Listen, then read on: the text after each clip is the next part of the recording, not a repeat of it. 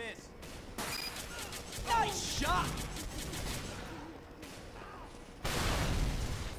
There's a spy over here!